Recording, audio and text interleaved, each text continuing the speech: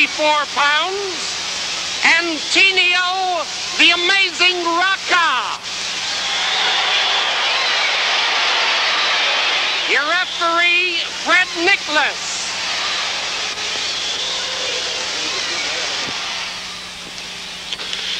You notice that little gesture of Gardini's before, so again we'll have a study of opposites. Gardini said, I use my head, and Rocca uses his bare feet. And here we go.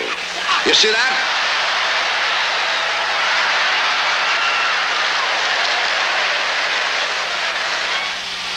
Rocca constantly moves.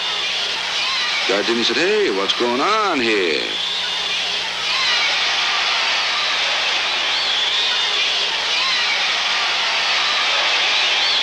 Beautifully done. Watch it. You'll see things executed that you've never seen before in your life because he can move this boy. There's his stake hold. Looks like he's making chop meat out of Gardini, however.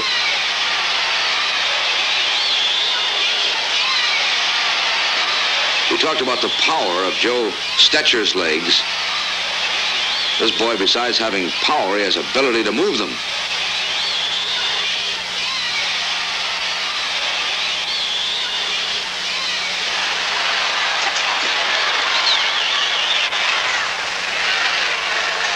That's Rocca bouncing left. And a right. And another right by Rocca.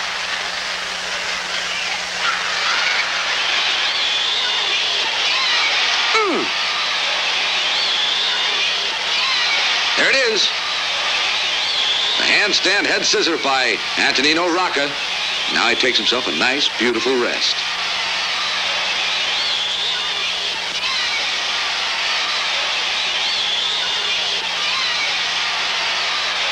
Yeah, we know where your head is.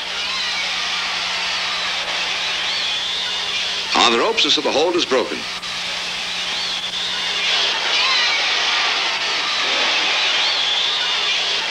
Gardini thinks he's in there with the atomic bomb.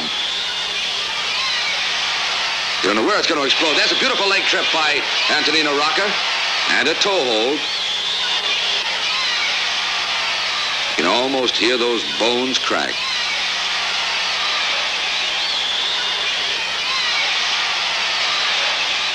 Nobody can help you now, Gardini. Nobody but yourself.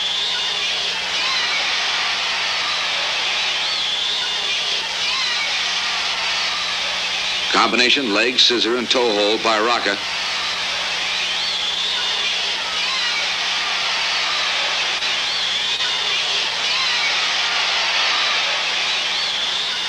Everything that comes up must go down.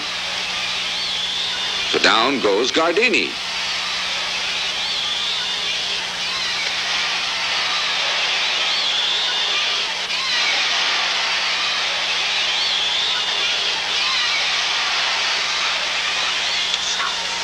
Gardini with a cartwheel. A beautiful drop kick by Rocca. Gardini said, this is getting too much for me, Rep, too much. Which way shall I go? Out. See, I used my head, he said. Five, six. Count went up to six. Roll mirror out again, says Rocca, and over he goes.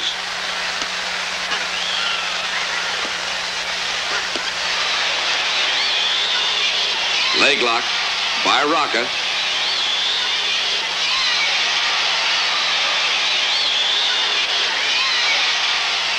Always presents a moving target, that Rocca. Again, a leg scissor and toe hold combination by Rocca.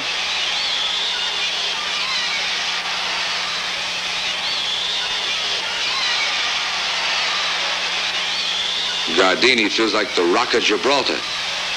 He can't move anywhere.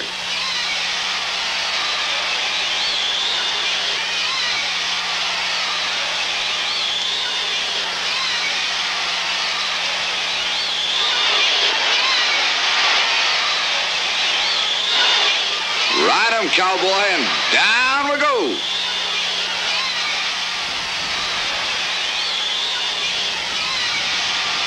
Make him stop jumping up and down, ref. Ref says, get in there and wrestle. Don't bother me.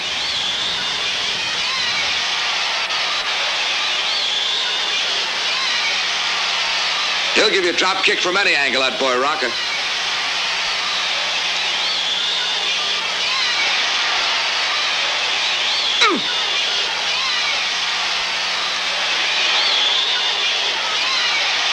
I can do more with my feet than you can do with your hands, says Antonino.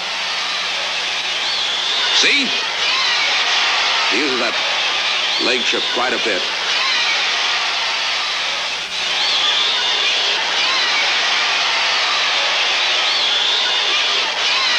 One more time. Attaboy. Well, there's one for the book. He can't get his whole shoulders down there to the canvas, but he's got them down there. The human pup tent.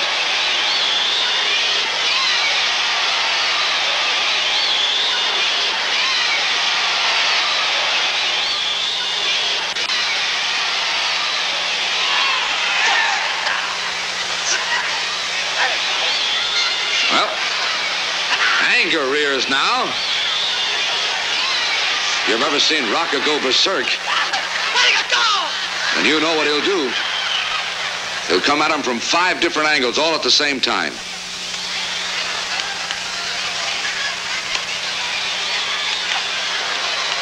That's all he says. That's enough.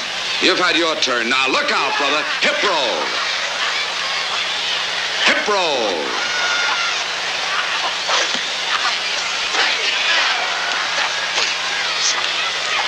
A flying mare by Gardini, right across the Adam's apple to make apple sauce of Rocca. By the hair, a rear chancery, and which way will he go? That away! Right into a beautiful drop kick by Rocca, and again, and again.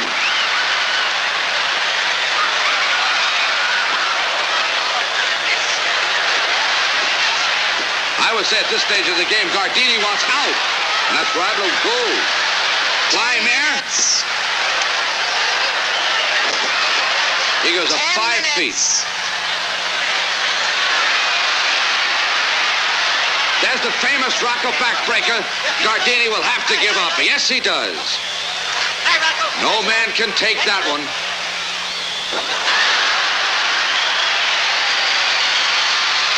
Benito Gardini conceded that fall, and the winner is the amazing Rocca.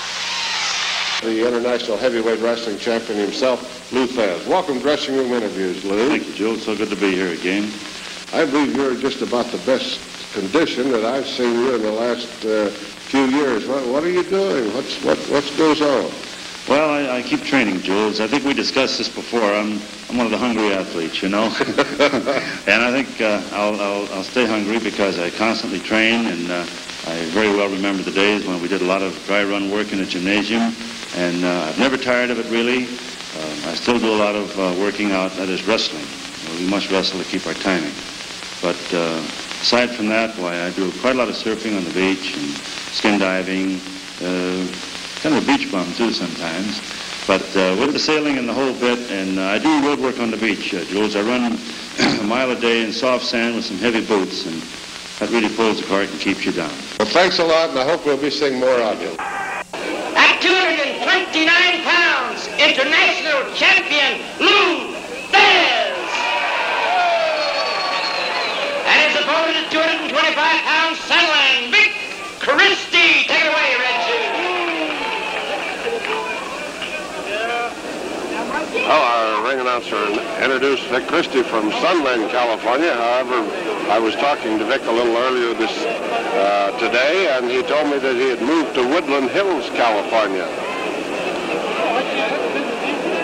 Vic, uh, veteran of the mat, always a fine condition wrestler. Against Lou Thesz, the international heavyweight wrestling champion. Should be a very fine wrestling match.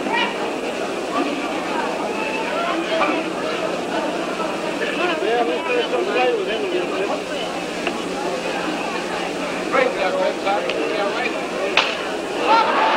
Ron Thayers with that left-hander is slapping into the side of the head of Christie.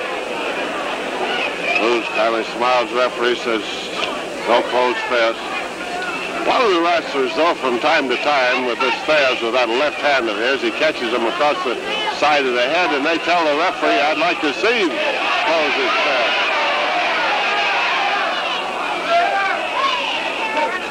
Open hand a lot of times can hurt a lot more with a slap into the side of the head than a closed fist.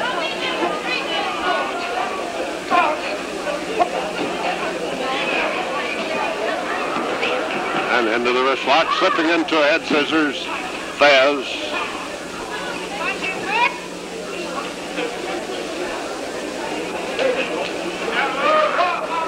And on the break, Thesz tossing Christie clear across the ring. The referee speaks to Thesz.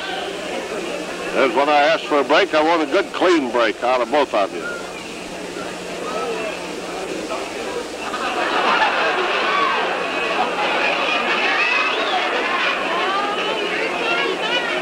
These boys are just about the same size. It's a little hard to distinguish between them, except that Christie's the one with the short crew haircut, or flat top, whichever you prefer to call it.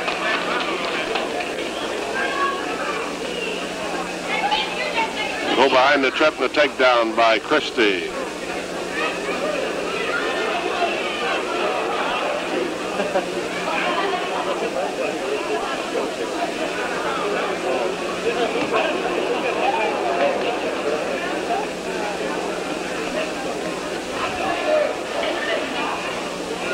As with an inside step over toe hold, reversing in on Christie.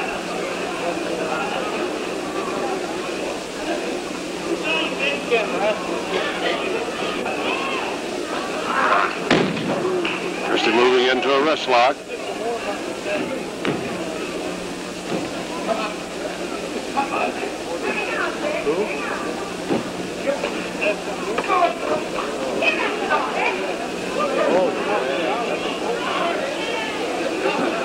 I noticed quite a large red welt on the left side of Thesz.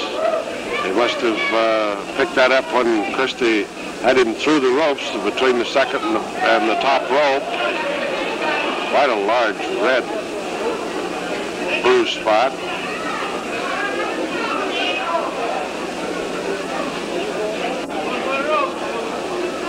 And it's Christie moving out under the ropes.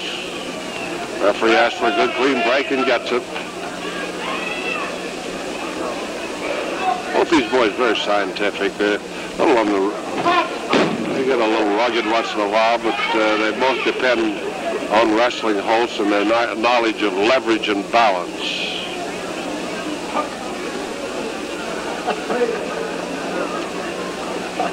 Christie uses a lot of scissors. In fact, uh, Christie's favorite uh, hold that he uses for defeating his opponents is a flying body scissor, and the same thing with Thesz. He uses to a great extent too.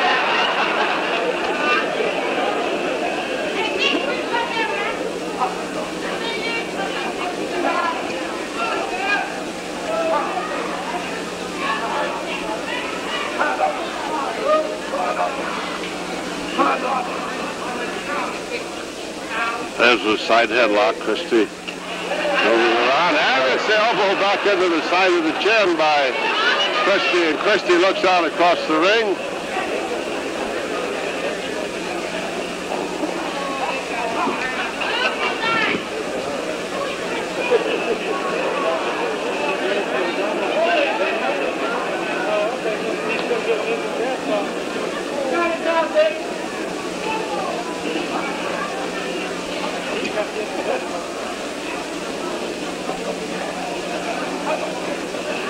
It's Thesz moving into an Indian deathlock. Doesn't have the foot quite around to the proper point, though, to where he can get the leverage on Christie's leg. I think Christie's moving it out. That's right. Christie maneuvered the foot out from the leg. It's interesting to watch a match like this. Uh, you watch the little things that way because you see how these boys that are on the scientific side of wrestling, how they maneuver the hold just the least bit changes the whole leverage and balance of the hold. Out on the the apron. Both boys onto the apron. Five minutes long. Five.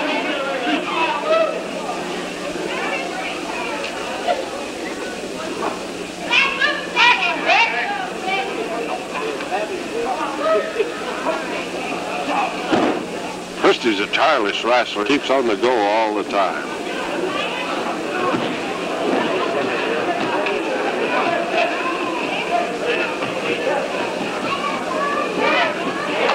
As with the hammerlock, it is good for the fall as Christie submits to the fall. Let's get our ring announcer Ray Meadow in and see what the time of the fall was. And both boys moving in.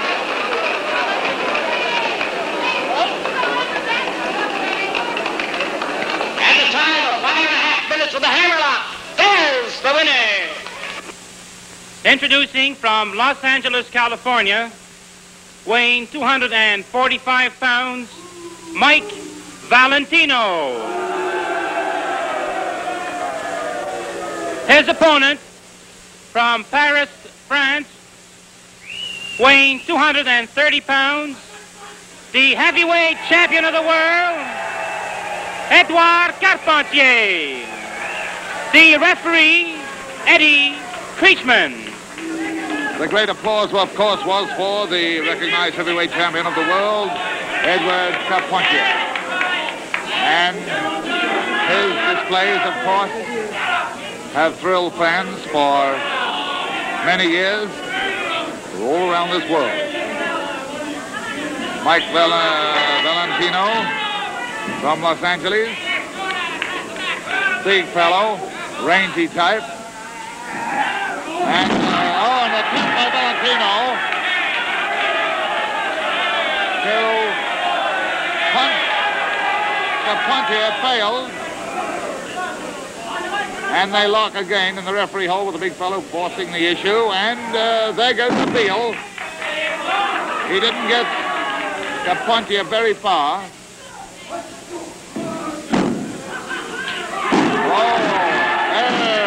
Of disdain right across the face. Oh, Valentino. This fellow Carpentier has defeated the greats in wrestling. I refer, of course, to Killer Kowalski, to Buddy Rogers, and their like. Kowalski, incidentally, is now on a tour of Japan. And Carpentier ever insisted it was he that chased him out of the country.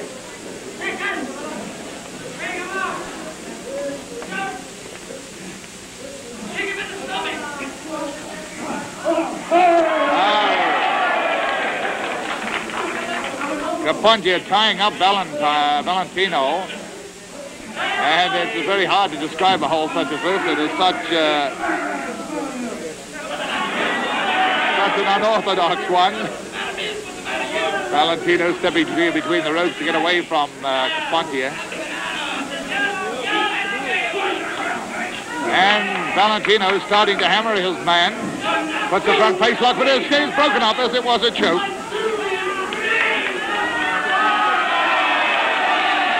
And the hammerlock. Hammerlock placed by Carpentier.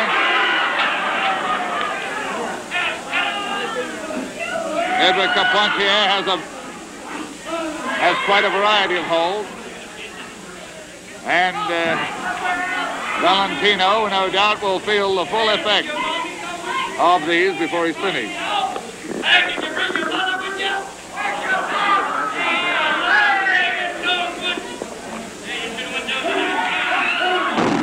There goes Carpentier getting the head to the midriff of Valentino.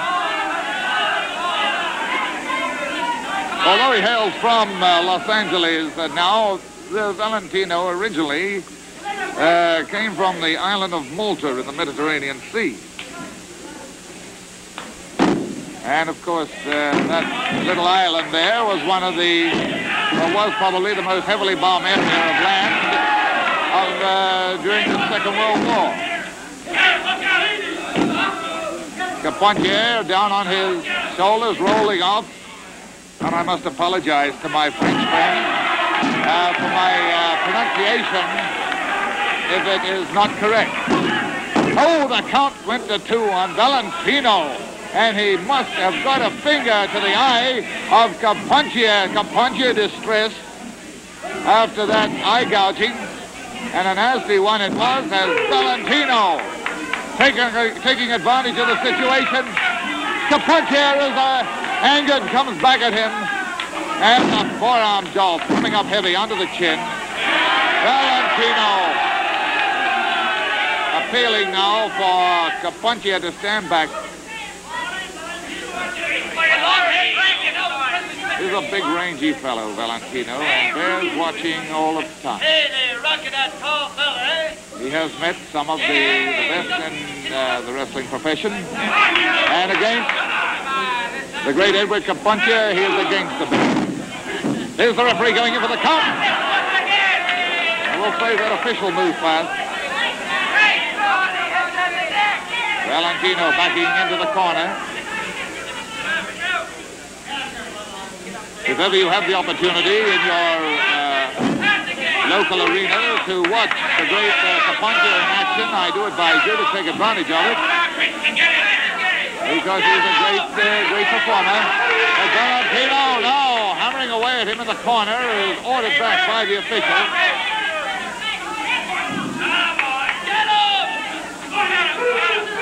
The referee becoming a little impatient with Valentino, and there could be a disqualification if he does not watch out. Five minutes. Murmuring amongst the fans as they are urging on. Valentino getting out of the ring. Must have uh, witnessed a glint in the eye of the great French performer. Ah, Valentino getting a fast count from the official. He claims that the referee is being unfair. Well, I do not think so.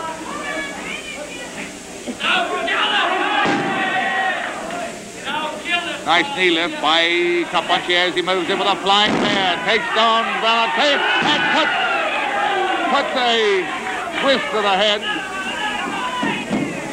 Valen, oh, Valentino kicking Carpentier, but here's a great gymnast somersaulting. Oh, a beautiful move. Another one. A somersault right onto the chest of Valentino. And Valentino's in trouble as Carpentier goes over the counters into two. To three. A beautiful fall.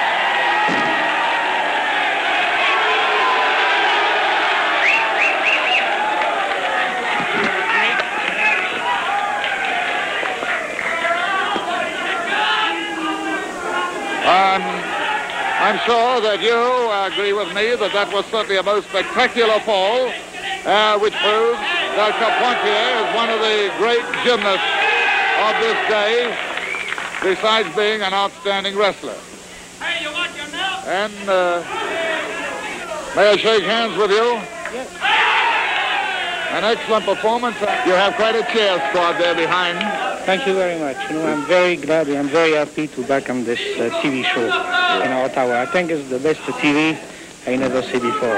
Is that right? And Yeah. you've seen some television around this world? Yeah, because I'm go every place, everywhere, coast to coast. You know, I think this TV is something. Well, you've got yourself all nicely tanned up, and uh, it's quite obvious that in your travels to defend the title, you've been hitting some sunshine. No, I just uh, come from San Francisco. I went... the champion course from San Francisco last week. Is that right? Yes. Very, very nice, and thank you, Edward, you for coming much. around.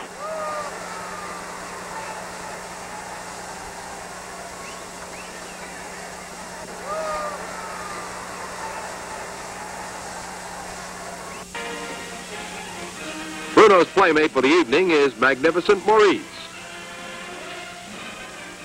Even before the action gets underway, the fans show their disapproval of the Magnificent One. Maurice tries to be a good sport about it by shaking hands before the match, but he follows this gesture by clouting Bruno on top of his head, and the fight is on.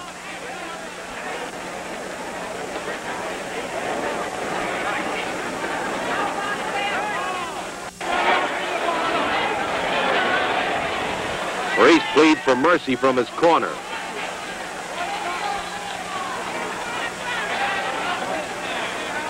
Now the two Goliaths engage in a bit of stand-up Indian wrestling. Maurice gets the edge by pulling Bruno to earth by his locks. The referee scolds Maurice for his action, but the fans love it.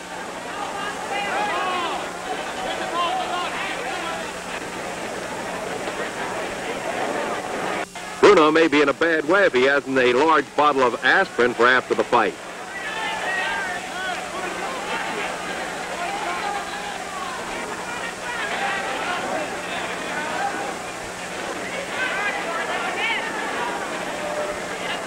Burly Bruno retaliates by bouncing back. Then he goes to work on Maurice's fair skin.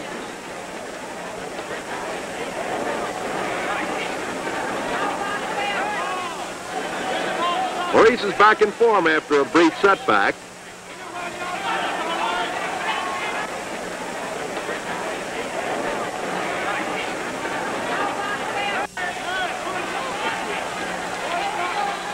Bruno then puts his 264 pounds to work by bouncing Maurice once again. Then he skips into the crowd to be with his fans.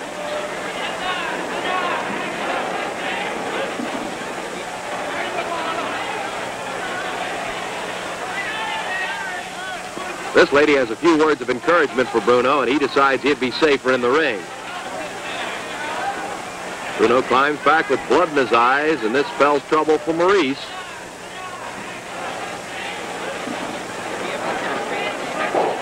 Bruno tries to embrace his companion. The loving bear hug is so effective that it squeezes the breath from Maurice, and that's all for the evening.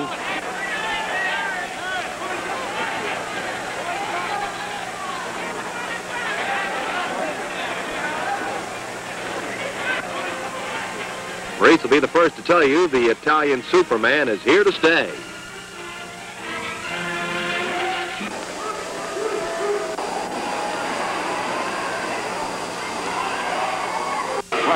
Got on camera. Welcome to the horror show. Look at that. I've seen better heads on cabbages, haven't you? There he is, hero of uh, the Mau Mau tribe, Karl von Hess. Killer Karl von Hess, who just got his little head slapped by Ricky Starr. And if you're the type who likes fireworks, well, we're going to shoot off several rockets right here, believe me. Ricky Starr versus Karl von Hess. The next event, ladies and gentlemen, one fall to a finish, a one-hour time limit. Introducing at this time the referee for this bout, referee Sandor Kovacs.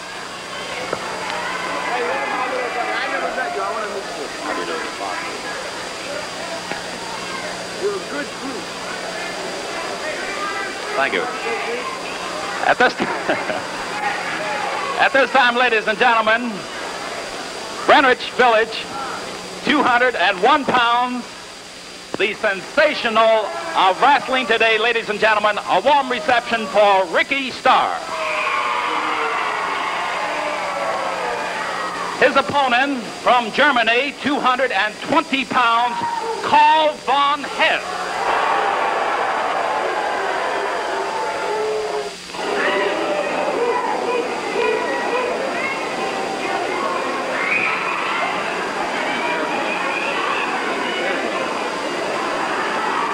Now we uh, come to the most important part of this match. Ricky Starr will toss one of his little ballet slippers, I hope, in this direction, because Harvey Jerome would like to have it. See there? Looks like I'm going to wind up marrying Ricky Starr because I caught the wreath.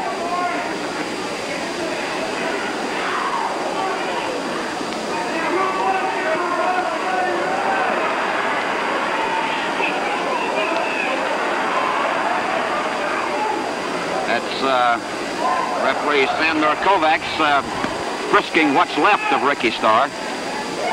Ricky's letting his hair grow out on his chest. Watch this now. Uh, Mr. Von Hess will now submit to uh,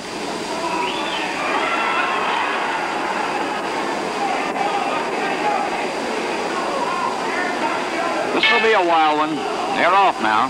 First, Ricky has to get loose, of course, with a few demi-plies and whatnot.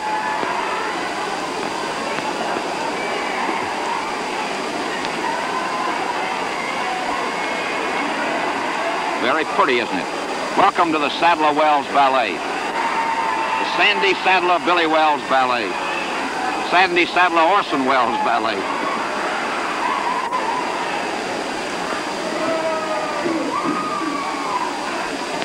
Watch this.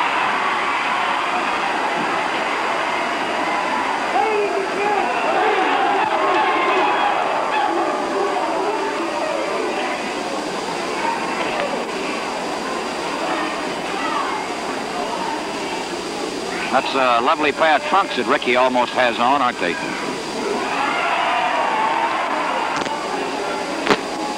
I think Von Hess just gets uglier and meaner. Me, I just get uglier.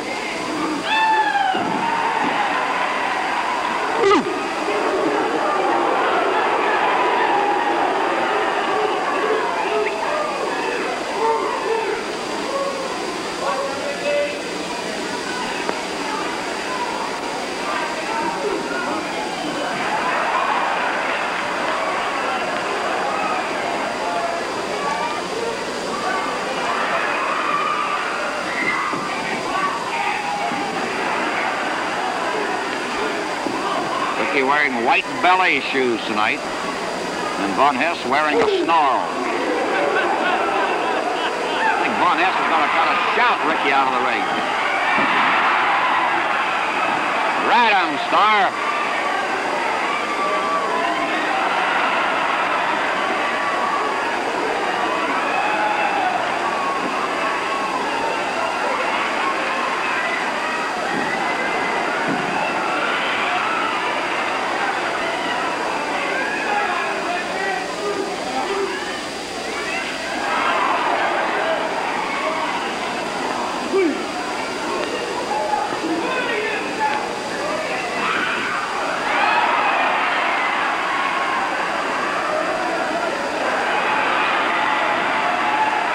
Mr. Starr just loosening up. Nothing wrong with that. Wish you would loosen up out of camera, though. This is a family network, you know. Funny how some athletes uh, use one form of calisthenics and others use another, isn't it? And some of them are like Ricky Starr.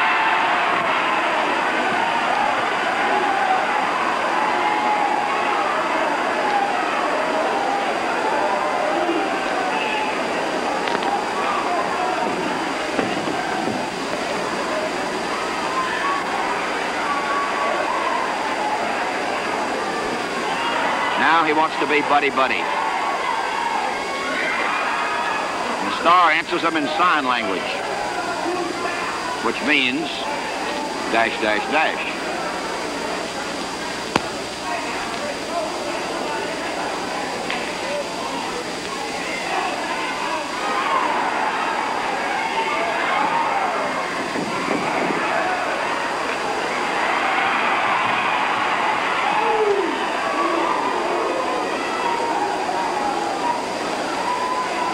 Program sponsored by Bumps and Grinds Incorporated.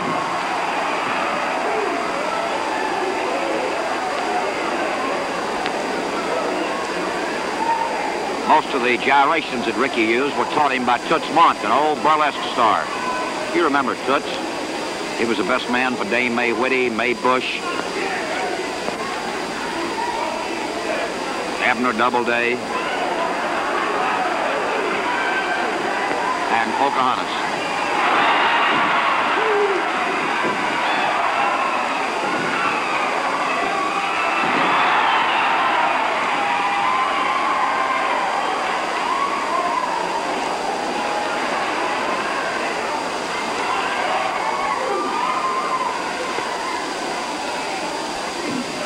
We don't get much wrestling. Uh-oh. I don't think that Ricky meant to hit Mr. Von Hess that hard.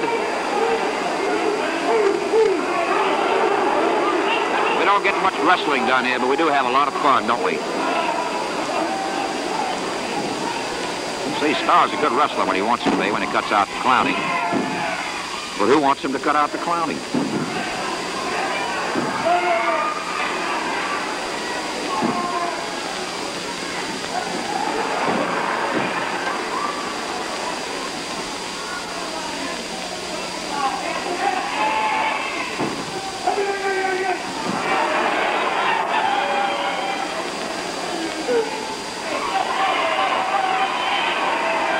Devon Hess is apparently not, uh, didn't have his dinner. Got a little, uh, you're not whispering. Von Hess is just biting Ricky's ear.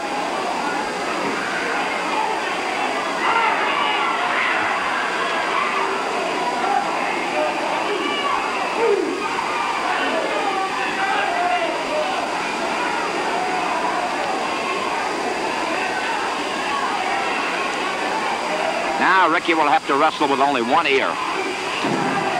Terrible disadvantage.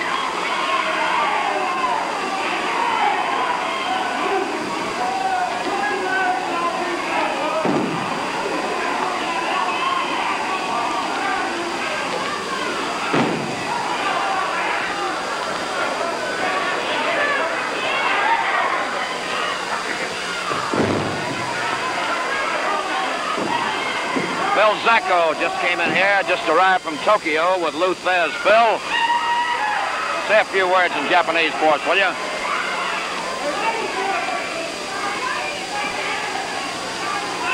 Uh, Phil prefers not to speak.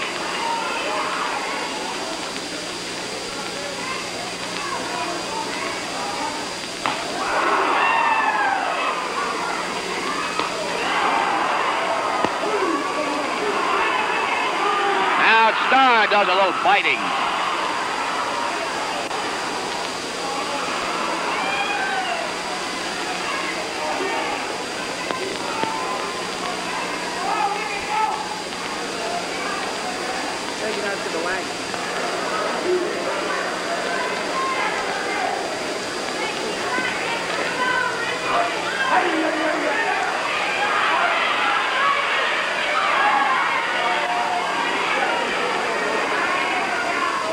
Ricky reminds me a lot of those wrestling midgets, doesn't he? Except those midgets are a little taller.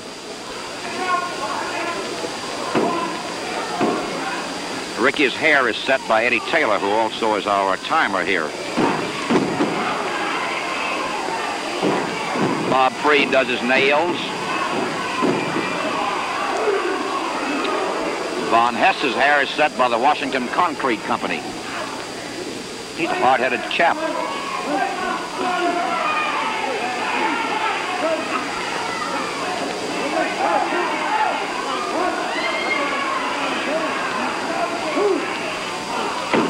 See, just like the midgets do it. Oh, Ricky missed then. Not then.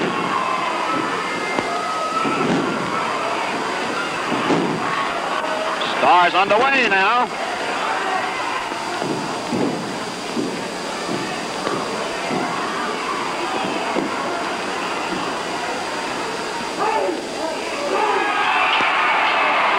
I didn't see any count, did you? Look at this now. We got something going with Kovacs and Von Hess.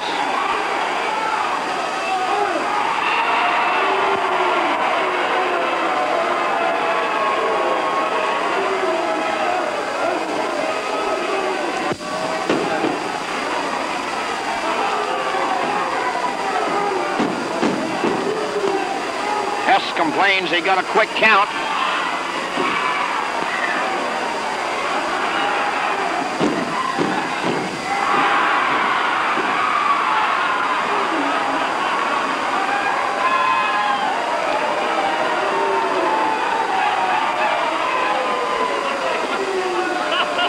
We're scared to lower the ring microphone because Karl might grab it and say a few thousand words, which could conceivably get us off the air. The one guy we do trust, though, is our old pal Bob Freed. The winner, the sensational Ricky Starr.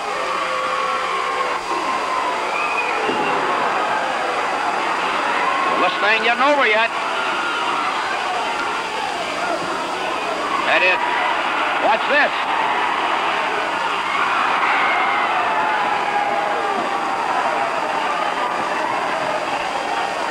Uh, double cross. Double cross. I saw it. Well, that sort of wraps it up, friends. That about anyway. Don't forget our little interview section's going to follow.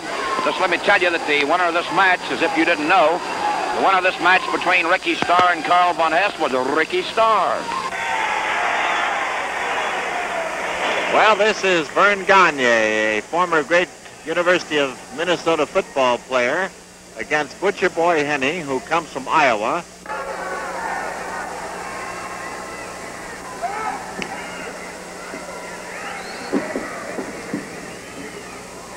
Watch him go to work on his hand of Gagne's now. You're in a good position here. He's going after the rope to cut off the circulation. He's got it underneath his hand. Loose goes is in there looking now. But he's got the string covered up with his hand. There it is. See, Hanning, cover, Hanning covers it up, but now he gets back and slips it inside his trunks. Actually, it's just a string from his trunks.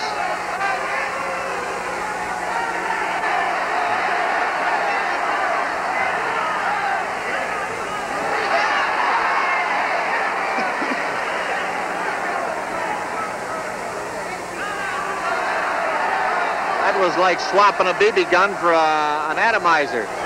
Gagne really teed off on him that time.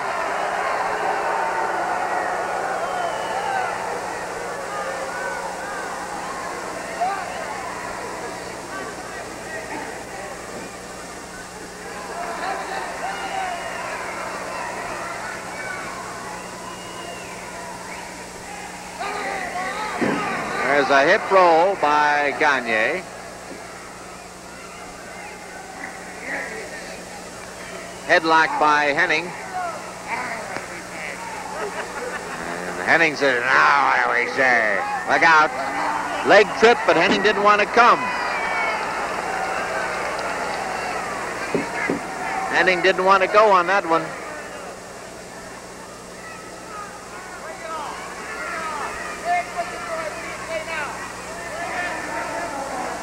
Gagne rolling the boat down the stream now.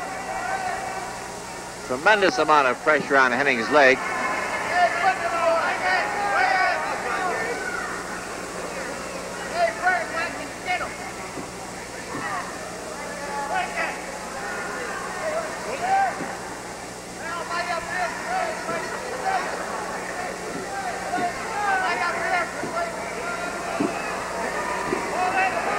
Henning is doing a crawl right for the ropes.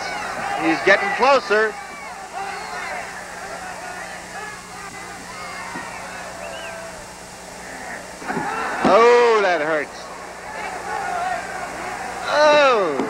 Too. And that one. Let's see what Gagne's devised now.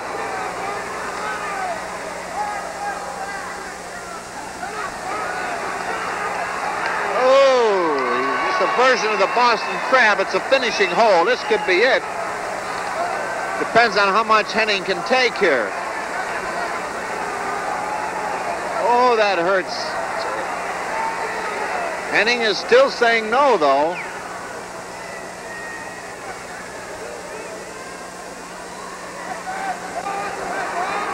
Look at that. He's inching toward the ropes despite all the pain and pressure. Now, I don't know how you feel about Lee Henning, but we've got to give him credit for a lot of courage. There's a fellow who's taken a lot of pain. And it's easy to give up in there, you know. It's easy to say, I've had enough, but he's not doing it.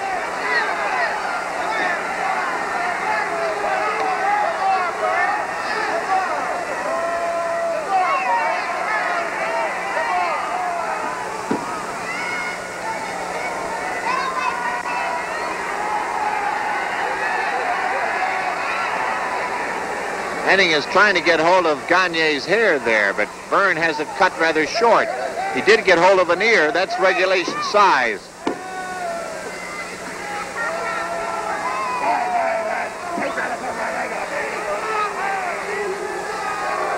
You hear that? He said, why, why, why? He's trying to pull my leg off, isn't he? And he was. Got to say that. Verne was trying to get it off. Probably beat him over the head with it.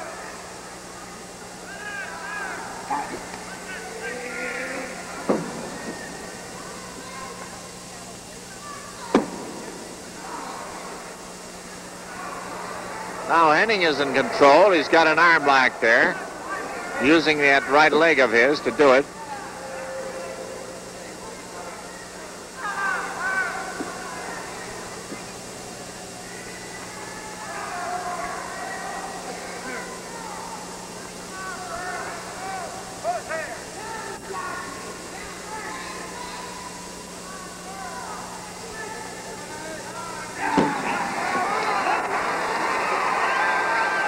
And Gagne continues to work on the underpinning of Lee Henning. Look at Lee right on his head this time, and he's got there.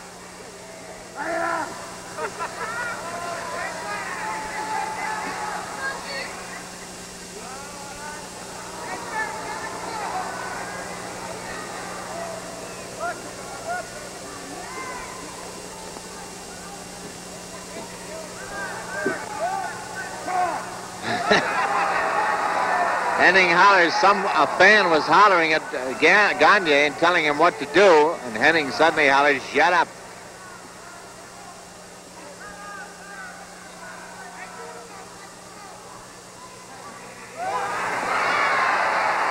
He's the little man that wasn't there that time.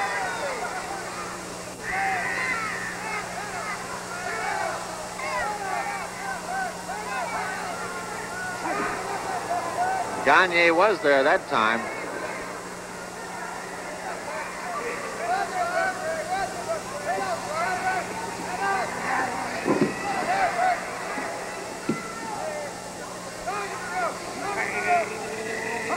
Henning now is digging those nails into the eyes of Gagne underneath. Doing it again.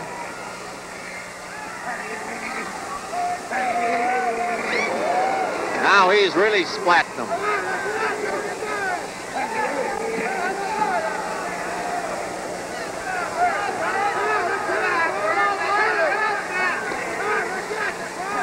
You can hear those socking in there. There goes Gagne out of the ring.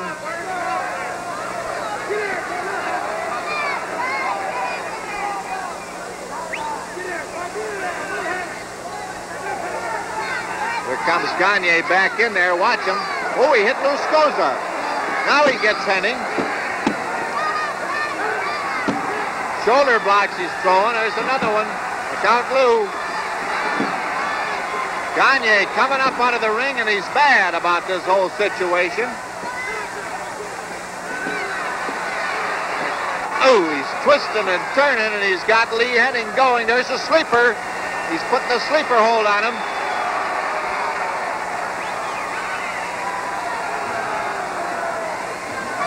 Got the sleeper hold on him. And there goes Lee Henning off into the land of dreams.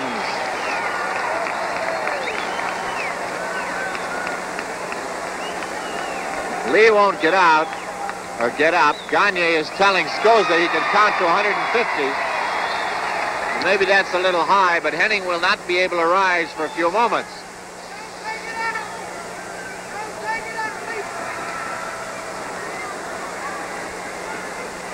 Verne Gagne, aroused by being kicked and thrown out of the ring, came back like a tiger to finish off Lee Henning in quick order.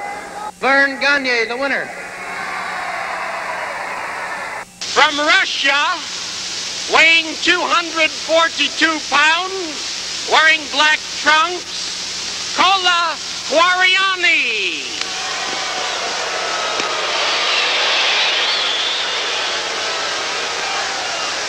From Chicago's north side, known as Mr. America, weighed 222 pounds, wearing black trunks, Gene Stanlee.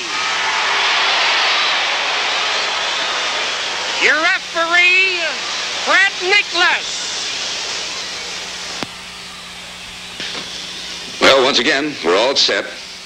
I don't have to tell you which one is Gene Stanlee. He's got hair. And man, what hair he's got. So it's Gene Stanlee now on the right, Kola Kwariani on the left. Gene is a real showman. Kwariani breaks nice and cleanly, which naturally surprises everybody. Japanese arm lock in there by Stanlee, and a monkey flip by Gene. Don't you love the way Gene just prances around that ring? The chancery by Gene Stanlee. And a hip roll by Stanlee.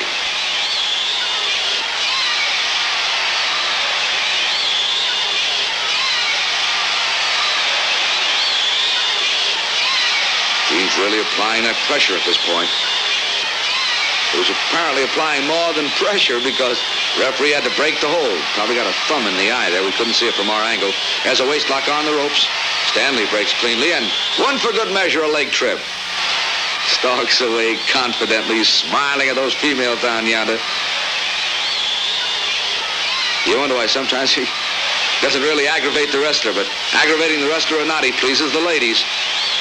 Hair pull that time by Kola Kwariani, which puts Gene at a decided disadvantage.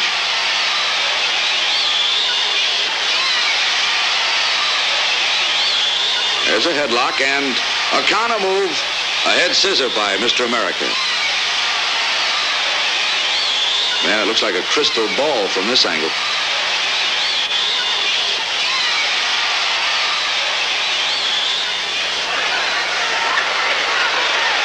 Now you'll notice that this is a rest hold for Gene Stanlee.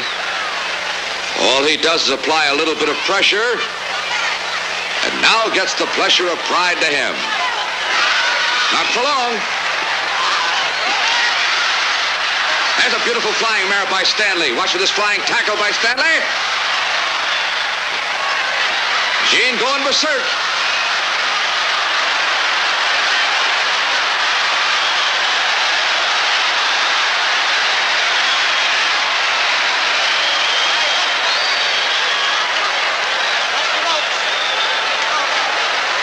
What that boy can do to a crowd. Front chancer in a back body drop.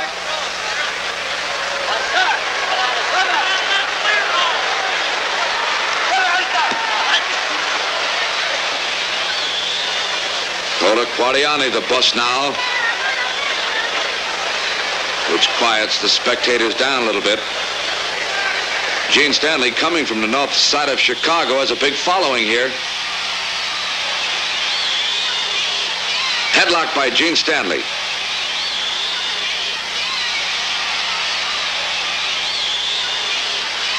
She likes it. A beautiful waistlock. He's getting set now for the spread eagle. So he takes a leg split instead.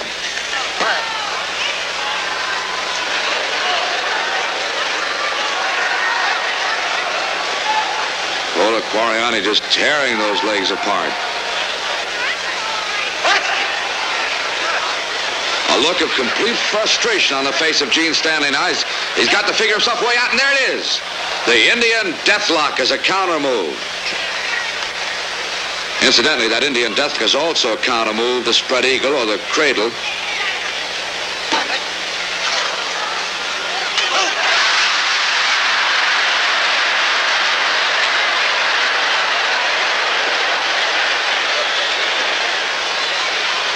Is a little gesture like that to send the crowd wild.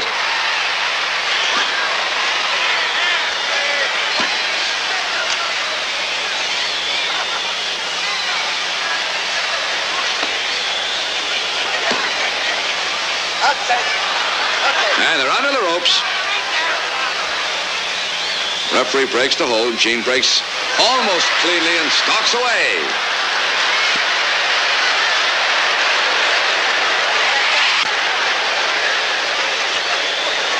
It's Kola Kwariani with his back to us. Gene Stanlee in the corner. About to spring.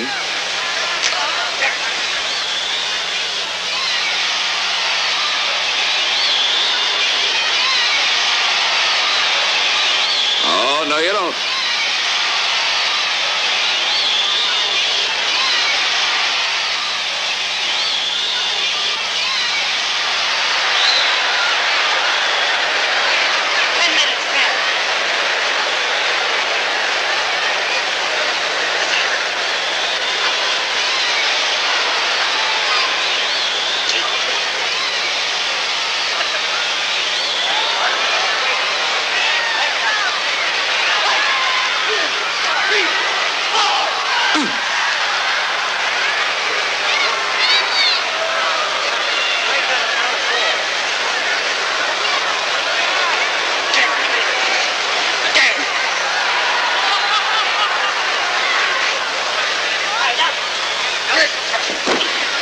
There's a cartwheel by Kwariani.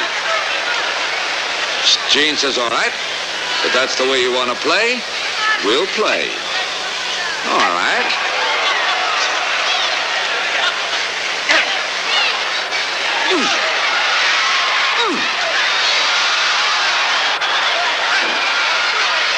Flying mare by Stanlee.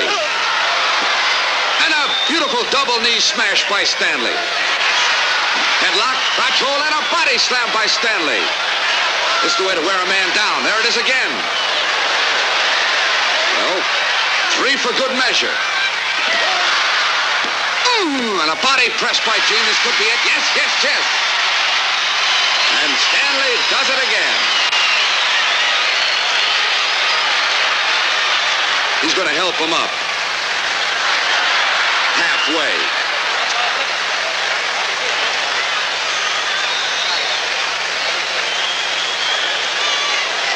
A body press, the winner, Gene Stanlee.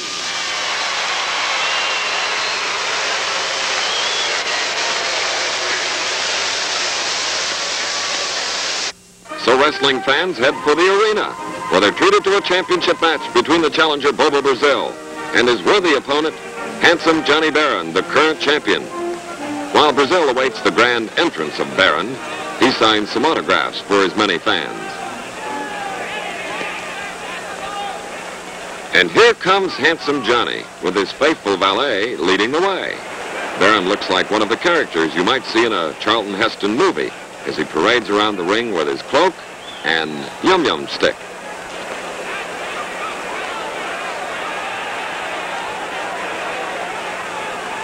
It doesn't take long to establish who's who in a wrestling match, but just for the record, the champ is the bad guy, and the challenger is the sentimental favorite. Before the match even gets started, Handsome Johnny tries to attack Brazil with his candy cane, or whatever that thing is. But Bobo takes it away from him and retaliates. Just say abracadabra, Bobo, and they'll both disappear.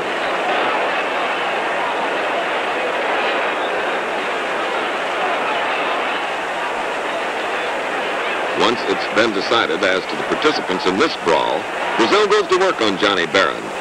But the eighth wonder of the world decides he'd better take a powder fast before Brazil rides him into space.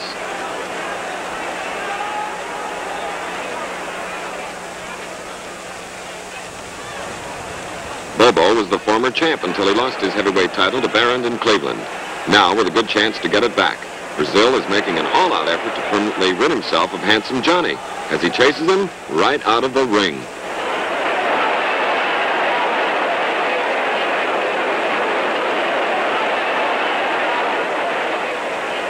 Here comes Diamond Jack with some words of advice to aid Barend in his darkest hour.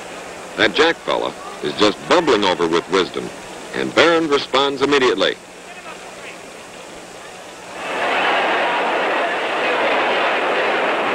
Brazil is down and Johnny is up, but not for long.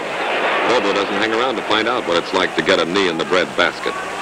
Barend can hardly stand it as he looks for a little sympathy in Act One of a classic performance. They reverse head holds, then Barend rides into a real haymaker that almost puts his lights out.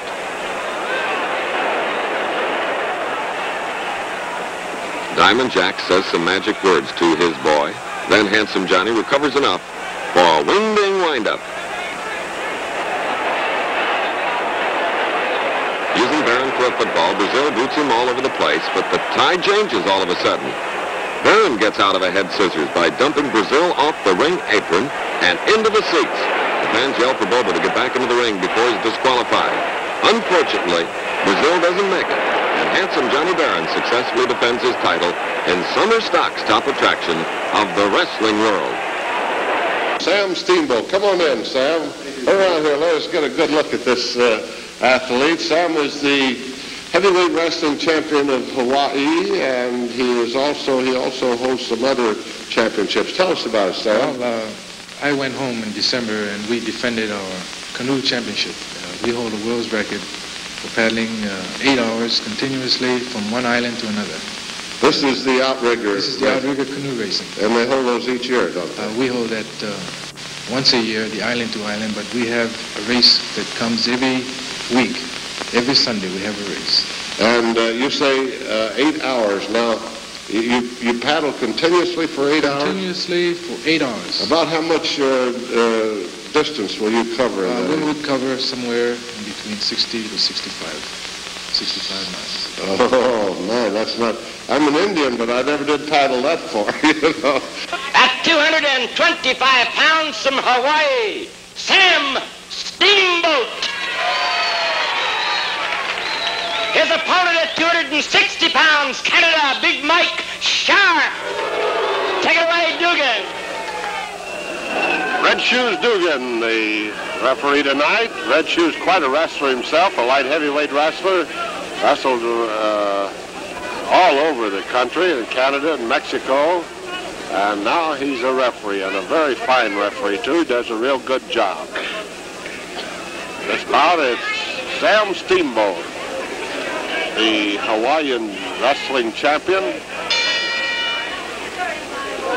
meeting Big Mike Sharpe.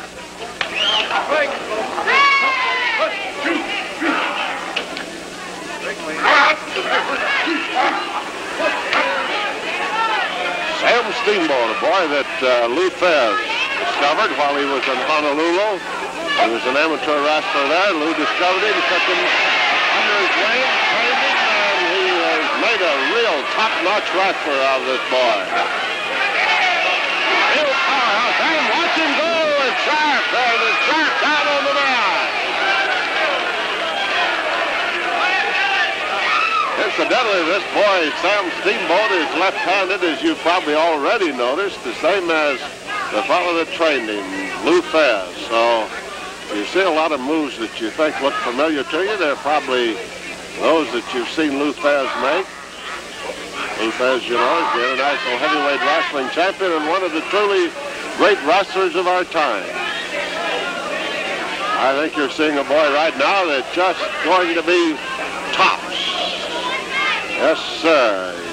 Young fella, tremendous all-around athlete. Holds the outrigging championship of the island. And a boot to the midsection by Sharpe. Eagle down on the floor. Red shoes Dugan, head close. Watches the hold, says it isn't a choke, though.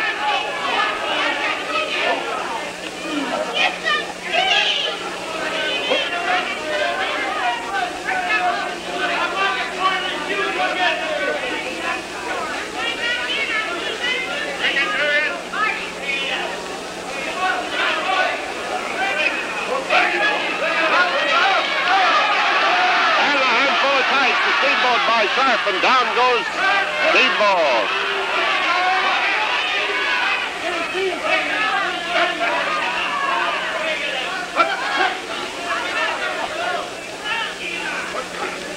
Refereeing, one of the roughest, toughest jobs in wrestling.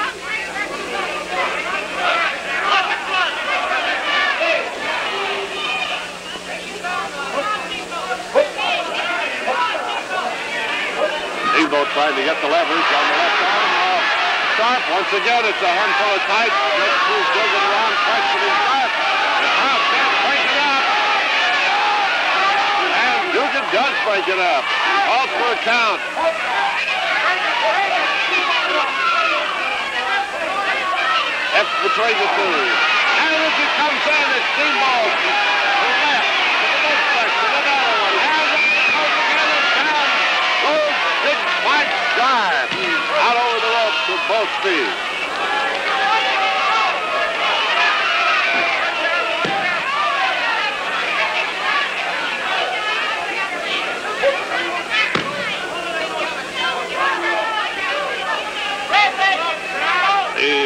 Hawaiian heavyweight wrestling champion Sam Steamboat. You people have been over to the islands, you probably, that name is very familiar to you. This boy's daddy was head beach boy there at Waikiki Beach for years, and he was raised right on the beach. You've probably seen young Sam there, too. But you're going to see a lot more of him in the wrestling ring because this boy's a real comer. He's in against a tough man tonight. One of the top contenders for the championship.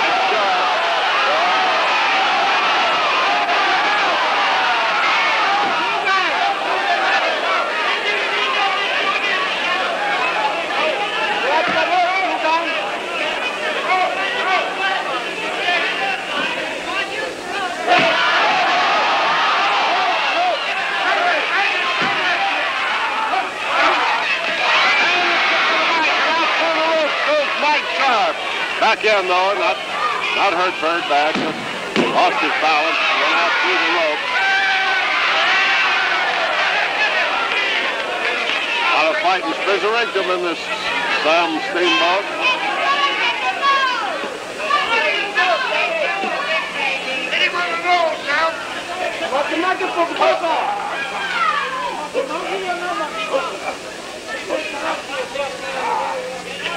Five minutes gone. Five. Five minutes gone, ten minutes to go.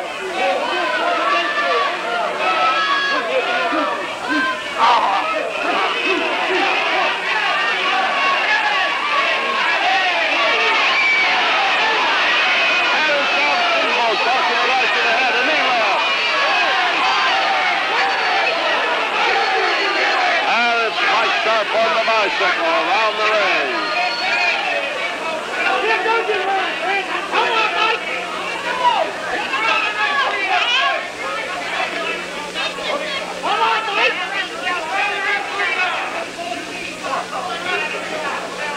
Get him, Mike! Kill him!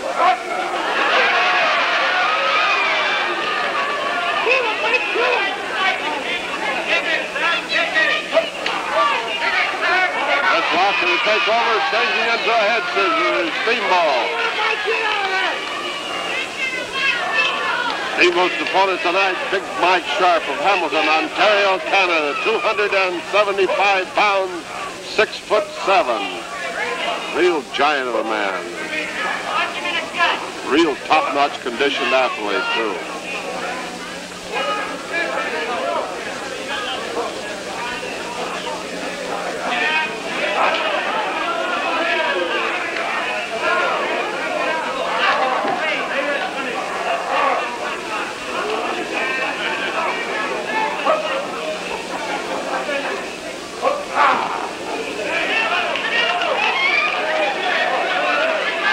Lays up the scratch of the head of Sharpe.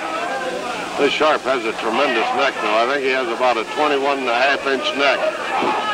Takes a lot of power to hurt that neck of his.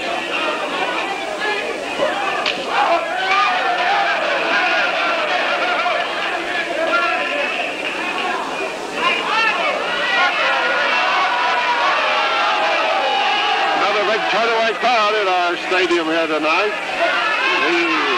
Wrestling stars of the 60s. The Rex Logan breaks up the hold and says the leg of Steamboat had slipped down, was a chokehold.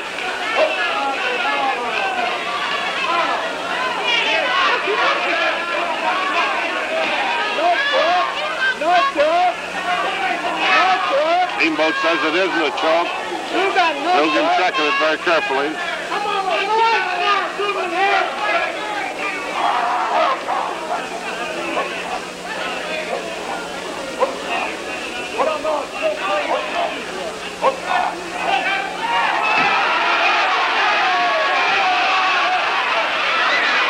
And holding on to the head scissors, complete rollover. Of the ropes. Dugan asked for a break. And it's Steamboat following Sharpe across the ring. He feels like he has an advantage. He wants to follow it up.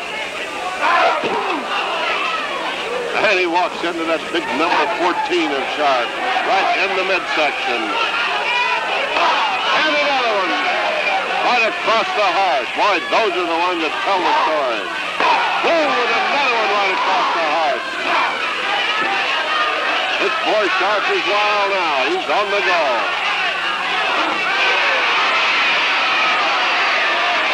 Watch this boy Steamboat go. What a move!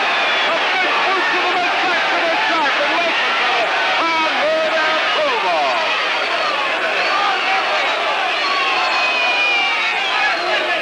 Oh, this boy from Hawaii has captured the imagination of the fans here tonight. They're pulling for him to a man.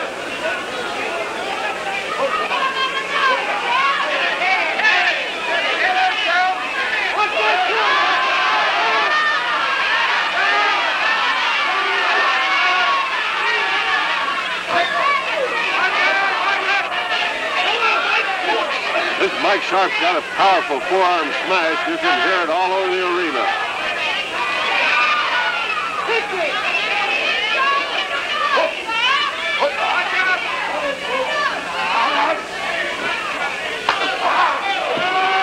That went into the throat. Before Sharpe placed that foot right over the heart, that one caught Steamboat right across the throat.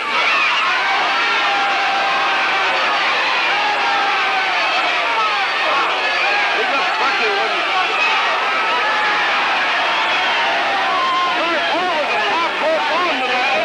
Almost out on the floor. Ten minutes gone. Five minutes to go.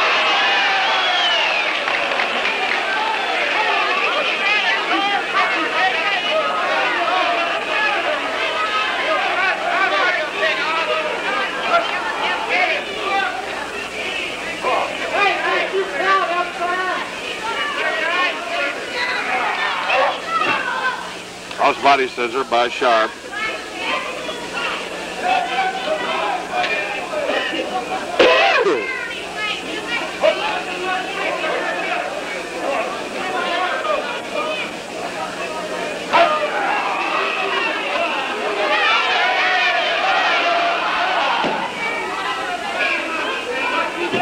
Four minutes to go.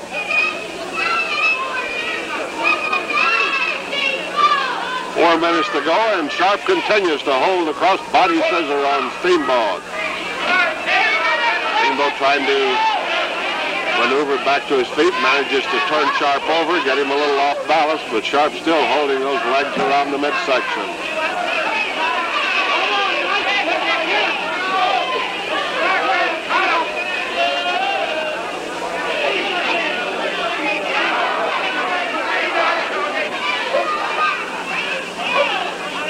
Mike Sharpe trying to tell the referee that Steamboat was choking him. However, the hands were not down to the throat.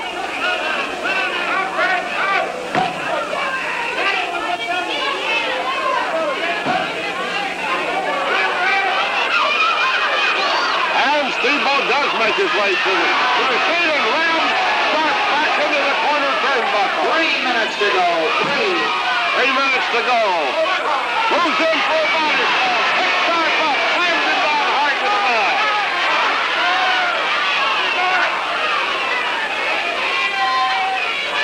We told you this boy Sharpe was one of the top contenders. You see why now. He fights back from everything. Steamboat put out enough tonight to defeat almost any wrestler in the country. But Sharpe is fighting all the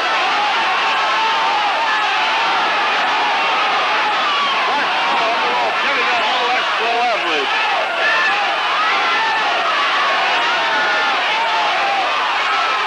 It's the claw hold into the muscle to the neck and shoulder. And the referee seems to pull on the rope. Off the side. Let's break it up. Makes him break the hold.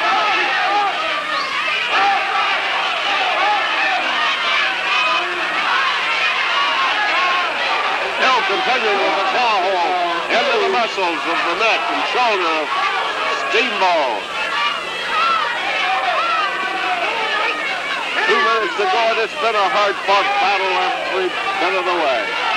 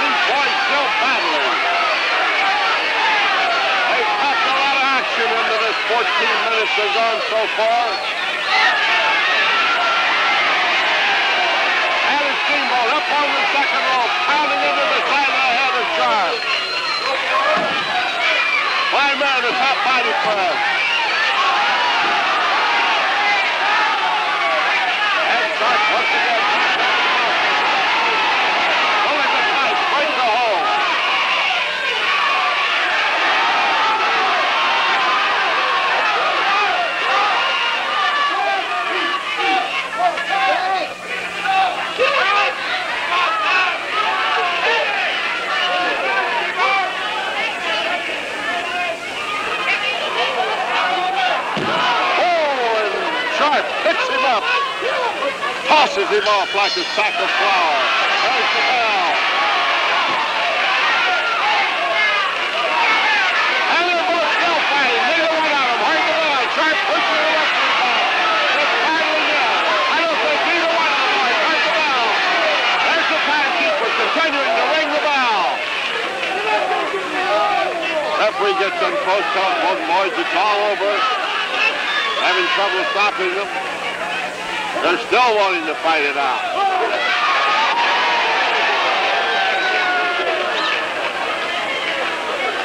Oh, boy, boy, were these guys fighting it? Didn't hear the bell, continued to fight. Here's Way Meadow with the referee's decision. And the referee says all even, calling it off the end of the time limit. And they're still wanting to go at it. Referee tells Sam Steamboat step back. Well, there you have it, folks. That's that's the end of this match as the boys step out on the apron. The referee in between them, and Sam Steamboat stepping down the ladder, moving to the dressing room. Scotty. Here he is, the uh, pride of the motel world, the great Scott. Scotty, how you been? Fine. How are you? Good. Beautiful little jacket you got on Thank there. you very much. Uh, it's, uh, no, I didn't. Uh, it was made for me by a fan club, I think, about three years ago, and I didn't. Uh, I hadn't used it very much Well, until get yourself a new fan I club. put it a new jersey, a new jacket. Oh, I got a fine fan club now. Have you? Very fine. Yeah, very proud of it. in Camden? Everything's fine. Maury, may I may I say to you, I don't know whether I'm I'm uh, advertising, I guess myself in Camden, New Jersey, as All one of the oldest. Look up there. As one of the oldest wrestling towns in the country, and November the 25th is going to be the first show they've had there in quite a few years. 25th of November, We right? hope they come out. Yes, we do. And if you want to stay overnight, the great Scott has a motel there. That, uh, Fine. No, it's not my- Good luck to you, Scotty. Thank you. Thank you. Thank All you right. Scotty, good.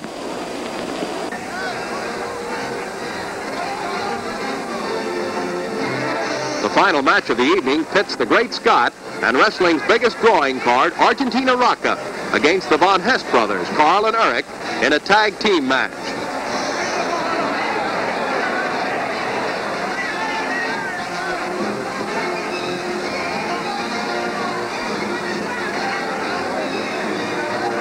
Karl Von Hess in the black trunks is receiving some outside help from brother Eric in his battle with the Great Scott. The Scott shows what he thinks of the help. Karl finds himself in a vice-like hold by the Great Scott, who gets some help from teammate Argentina Rocca. Rocca is chased from the ring by referee Benson, but he offers advice from the apron. Once again, Rocca rushes to the aid of his partner, who's having trouble in the Von Hess corner. Referee Joe Benson has to order Rocca from the ring, and Rocca isn't happy with the request. The Great Scott shows he can take care of himself and has Karl Von Hess begging for mercy.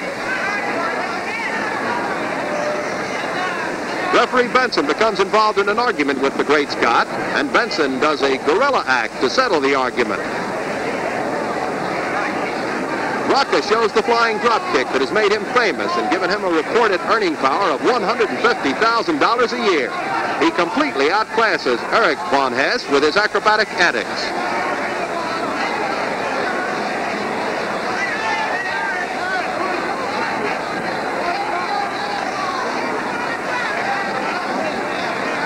Antonio Rocca, the agile Argentine, and the great Scott outdo the Von Hess brothers to win the match and send action-hungry fans home with a full evening of fun under their belts.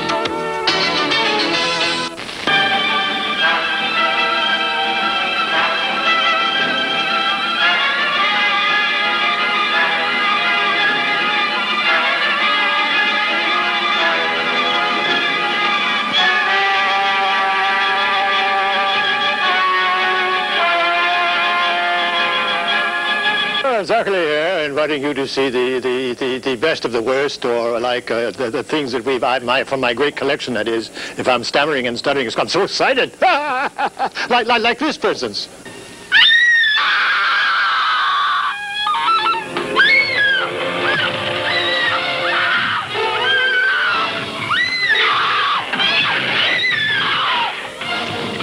Possibly the murderer used an electric drill. Yeah. And the person who did it is an expert in anatomy, too. I wish they'd find some way to control the subjects a man studies. A maniac with a lot of knowledge is a threat. I will perfect my own race of people. A race of atomic supermen which will conquer the world.